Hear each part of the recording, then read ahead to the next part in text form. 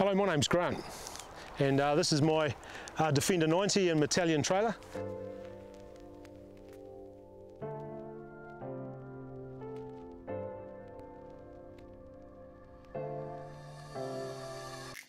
I've had the uh, Landy for nearly six years. I went with a, a 90 uh, to get into the market. Since they'd stopped making them, they were appreciating to try and get a foot in the door. Um, I got this one. A soft top, it's quite unique. I mean, one of the key modifications that I've done with it is put the roll cage inside it. So that was purchased uh, from Stag four-wheel drive in uh, Auckland and they also had the Exmoor soft top to go with it.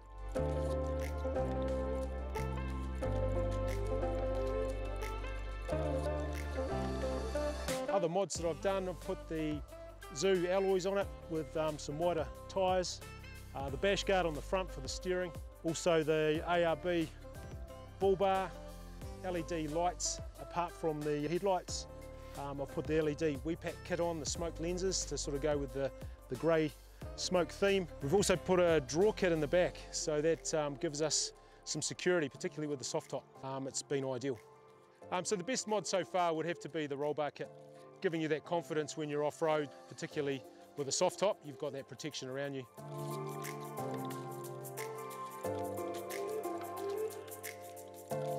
The, the camper trailer, I've had that uh, only seven months. Got it at Christmas time, although it was a project that was probably two years in the making. My wife and I were really keen on, on camping and we wanted to incorporate uh, camping with four-wheel driving and with mountain biking, which is our other passion. By having the Landy and being able to take the bikes, we could get further off-road to get further on our bikes without too much effort.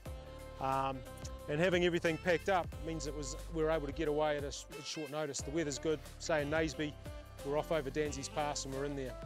I went through a guy, Andrew Lowe in Hamilton, running Trailer Connection. He had a contact in South Africa at uh, Metalian Trailers and after a fair bit of research, uh, worked with Andrew on getting the specification I wanted um, and got this trailer. So this one's the uh, MIDI, customise it in a huge number of ways. Go, you go through a checklist essentially and tick off the stuff you want. Andrew was great to deal with and uh, we're just really rapt with the finished product.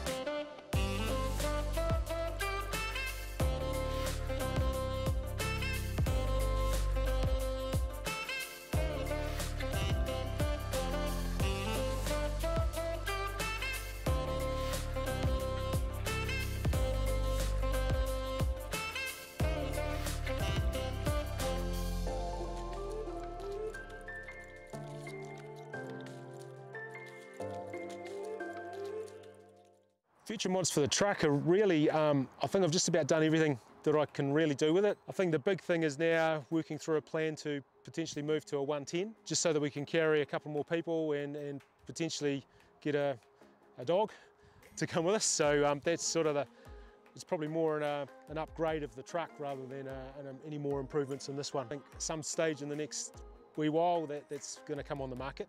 Taking the trailer away, big trip. I think We'd love to do like a South Island tour and just try and do as much off-road as we can um, and just go all the back blocks and just camp over a summer.